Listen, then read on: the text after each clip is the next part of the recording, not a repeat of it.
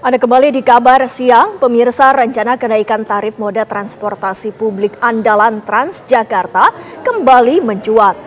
Usulan tarif baru untuk Transjakarta akan mempertimbangkan jam sibuk transportasi.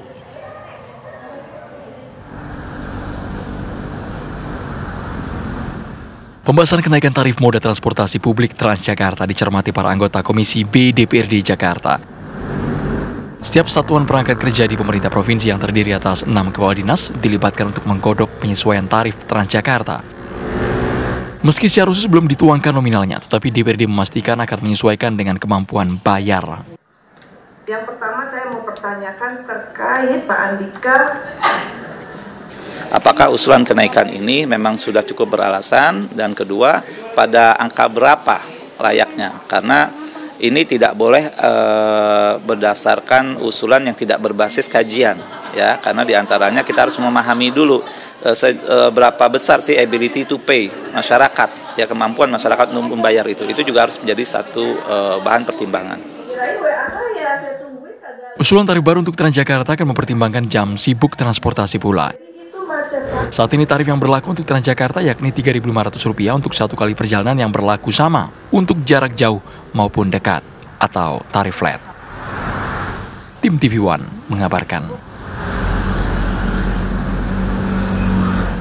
Rencana kenaikan tarif bus Transjakarta dari Rp3.500 menjadi Rp4.000 dan Rp5.000 di jam sibuk menuai kontroversi. Sebagian warga Jakarta tidak setuju dengan rencana itu.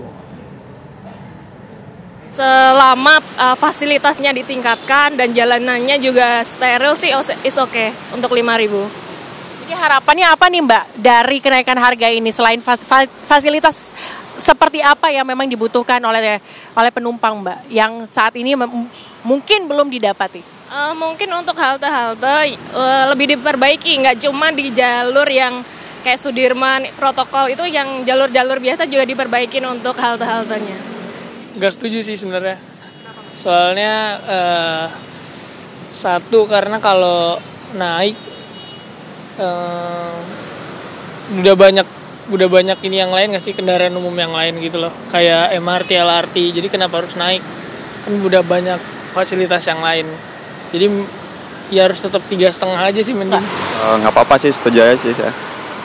Uh, asal asal pelayanan dinaikin gitu apa ditingkatin terus uh, armada armadanya ditambahin gitu.